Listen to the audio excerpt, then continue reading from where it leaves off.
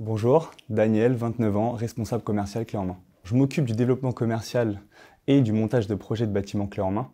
Ça consiste à rencontrer des entreprises désirant un projet de bâtiment sur mesure dans le cadre de leur croissance. Mon rôle, c'est de faire l'analyse complète du cahier des charges du client, que ce soit son besoin, son image et son process. Dans un deuxième temps, je m'occupe également de piloter un projet commercial jusqu'à la signature des contrats. Cette démarche, elle passe par développer un réseau de commercialisateurs en immobilier d'entreprise, assurer la préparation et la présentation de projets auprès des prospects et travailler avec l'appui de spécialistes externes et internes pour piloter et coordonner un projet global, que ce soit juridique, financier technique. Ce qui me plaît le plus chez Spirit, c'est l'état d'esprit. Le fait d'assister et de participer à la forte croissance de l'entreprise. Euh, il y a aussi la bienveillance des équipes et euh, la synergie entre les différents services qui permet de concrétiser de beaux projets. On trouve chez Spirit une flamme qui anime au quotidien les nombreux passionnés d'immobilier. La valeur qui me plaît le plus, je dirais que c'est le savoir-faire lié à la compétence. Ça passe par la discipline et le travail fourni par les équipes, un sens des responsabilités euh, sur les conseils donnés aux clients. En fait, je trouve que Spirit a le courage de proposer de nouvelles idées en étant précurseur dans son domaine.